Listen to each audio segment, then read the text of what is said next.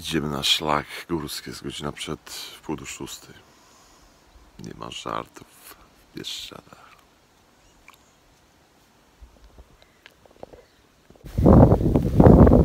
Tak wyglądają piękne Bieszczady, proszę Państwa, z wysokich szlaków górskich. Łażą kozice, niedźwiedzie, ale też ludzie. Ludzie z dużego miasta, ludzie z innej, e, można powiedzieć, rzeczywistości, którzy odkrywają piękno tego terenu, którzy delektują się cudownym powietrzem i ludźmi. Nie zapominajmy również o ludziach.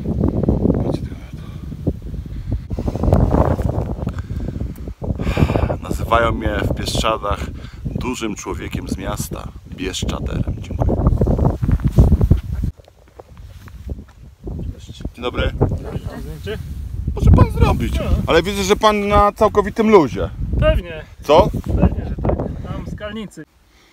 piekielne podejście. No tak wyglądają Bieszczady właśnie. Nie ma tylu ludzi, to jest dobre. Spotkałem typa z Warszawy, szedł w sandałach. Trekkingowych co prawda. Powiedział, że od 35 lat chodzi po górach, zawodowiec, zawodnik. Też taki będę, mam nadzieję, że już niedługo. Pozdrawiam Was, cześć. Jestem zmęczony, ledwo idę. Nie dla mnie takie zabawy. Dziękuję.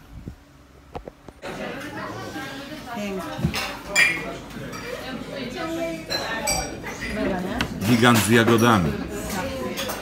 Tak samo jak ja, tylko jestem gigantem ze smalcem.